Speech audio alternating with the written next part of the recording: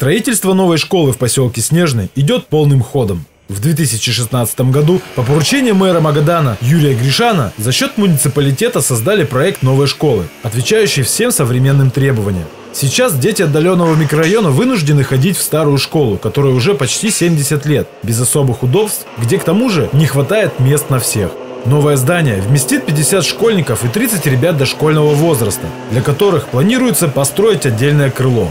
Договор на строительство учреждения заключили с компанией «МТКлей», но в начале 2020-го Минстрой задолжал подрядчику 23 миллиона рублей. Сегодня долг погашен, и стройка идет полным ходом. Э, На сегодня ставится опалубка. И э, в первых числах апреля мы ставим завод бетонный прямо на место, на площадку, где будем э, по месту заливать. Также в Магадане продолжается строительство нового бассейна с двумя чашами.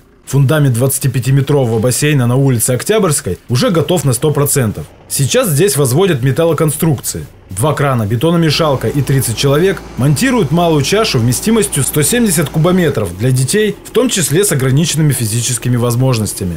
Спортивный объект возводят на средства единой субсидии Минвосток развития. Технология, применяемая при строительстве, позволила вести работы даже в зимний период. При заливке бетона в котловане проложен специальный кабель, который нагревает бетон. Утепленный фасад здания почти готов. С 1 апреля начнется кровля крыши и установка большой чаши на 370 кубометров воды.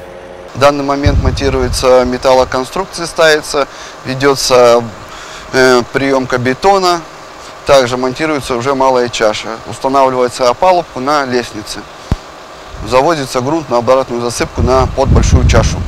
По словам главы Магадана, строительство новых объектов даст новый импульс в развитии города и повышение численности населения, что на сегодняшний день очень важно для областного центра. При нулевой температуре темп на объектах должен вырасти. Городские власти рекомендовали подрядчикам соблюдать технологии и правила благоустройства.